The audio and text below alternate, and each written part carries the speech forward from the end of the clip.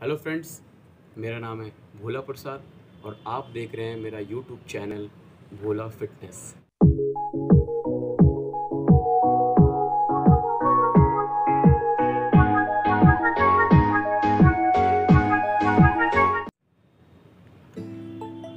इस योगा के सीरीज़ में आज मेरा तीसरा दिन है और पहला दिन मैंने कपाल भारती के बारे में थोड़ा सा बताया था।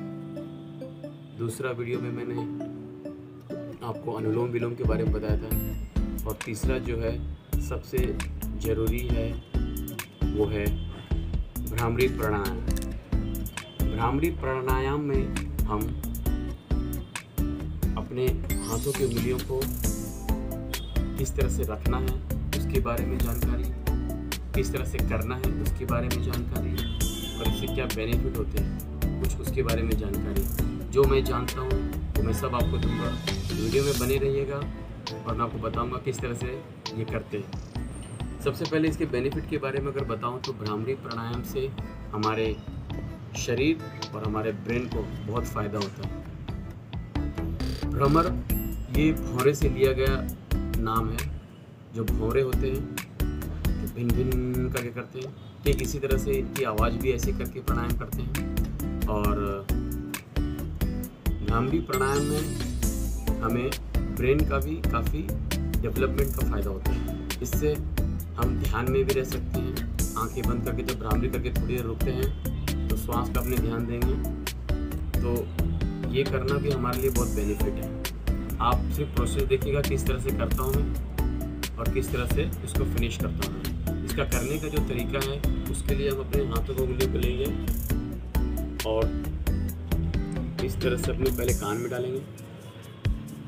थम को अंगूठे को फिर उसके बाद अपनी उंगलियों को दो माथे पे एक माथे पे दो आइस के एकदम अंडर ऐसे और एक चिन के पास।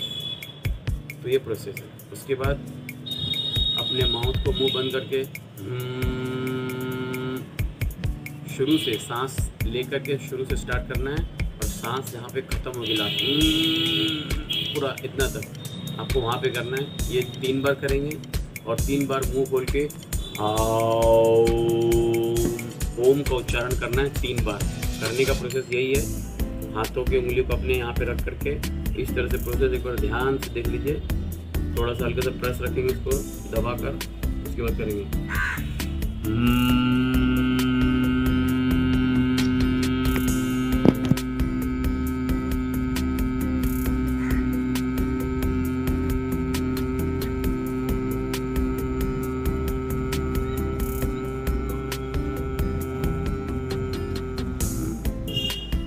एक बार हो गया, इसी तरह तीन बार करेंगे। फिर दूसरा मैं बता रहा हूँ ओम को उच्चारण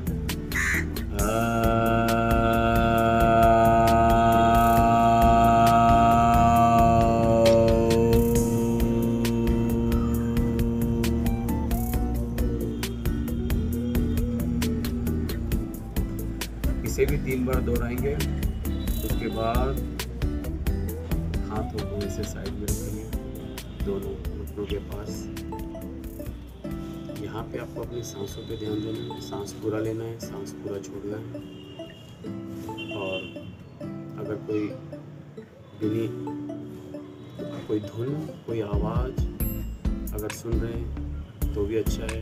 बाहर जो चिड़िया की आवाज़ हो, पत्तों की आवाज़ हो, हवाओं की सरसराहट हो, उसे भी आप सुन करके उसको नोट डाउन कर सकते हैं। इससे आपकी जो दिमाग की पावर है, वो भी तेज़ हो जाएगी।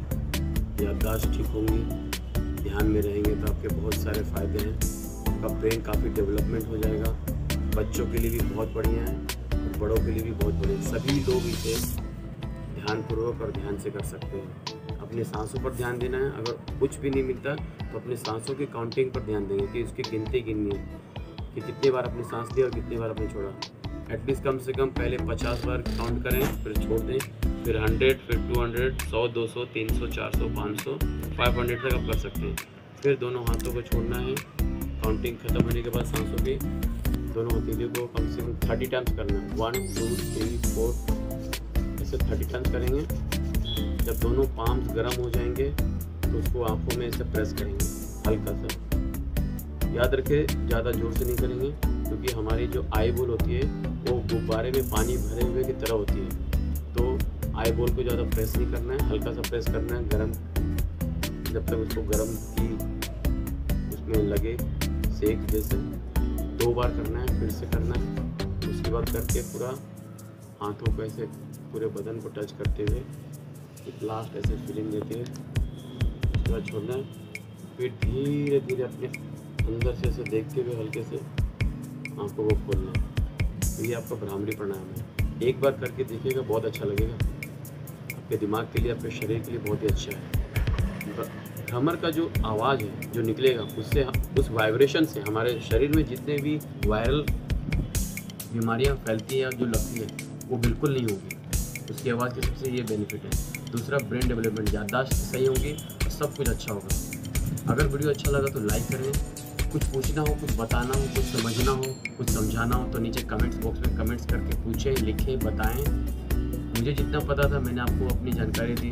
आप इसे घर पर ज़रूर प्रैक्टिस करें। बिना पैसे के, बिना चार्जेस के फ्री ऑफ़ कॉस्ट न इसमें कोई खर्चा होना है। खुद को टाइम निकालना अपने लिए दो से पाँच मिनट और ये करना है।